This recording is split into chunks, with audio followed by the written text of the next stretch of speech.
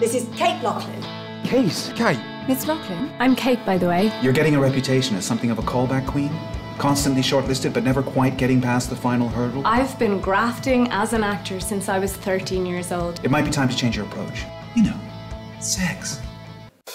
Don't you know who I am? Oh my God, you're Vincent Catalano. I've been living in LA for the past six years, and I've had it up to my tits with latte, mochaccino's, frappe, whatever. My first day back in England, I want a proper builder's cup of tea.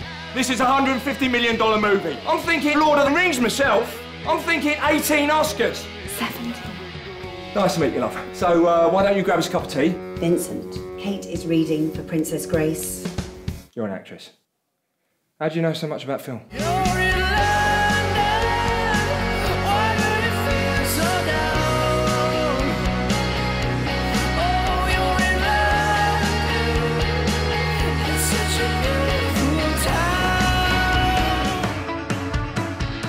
God, that Vincent Catalano's a bit of all right, isn't he?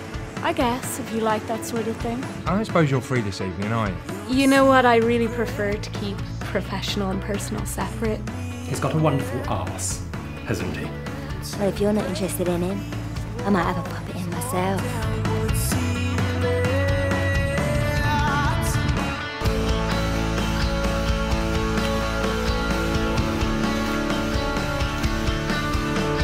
Cut!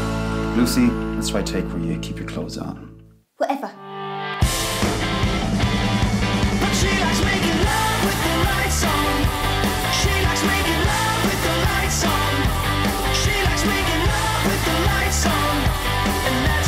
Just put your fucking head on, get out there chicken dance in your eye